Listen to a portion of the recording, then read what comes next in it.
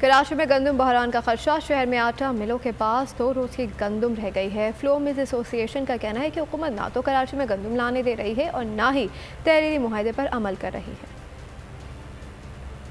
के लिए एक और मसला पैदा हो गया। शहर में आटा बहरान का खदशा आटा मिलों के पास दो रोज की गंदम रह गई। रोटी के लिए तो आदमी जीता है जब रोटी नहीं मिलेगी तो ज़िंदगी खत्म हो जाएगी बस। आटा जब खत्म हो जाएगा तो क्या करेंगे लोग? भूसी खाएँगे घास फूस खाएँगे। ज़िंदा तो रहना है ना कुछ ना कुछ तो खाएँगे।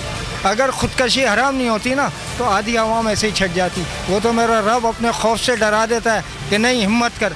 मायूसी गुना है। फ्लावर मिल्स एसोसिएशन का कहना है कि हुकूमत ना तो कराची में गंदम लाने दे रही है और ना ही तहरीरी माहे पर अमल कर रही है। कराची में गाड़ियाँ बिल्कुल नहीं आ रही हैं। मिले हमारी खाली पड़ी हुई हैं। और आटे की सिचुएशन फिर आपके सामने हो जाएगी जो भी आपको आ, मार्केट में आप सर्वे कराएँगे आपको आइडिया हो जाएगा।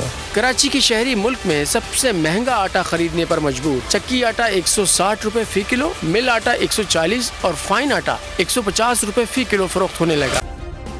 सब्सक्राइब करें और बेल दबाएँ ताकि कोई खबर रह न जाए।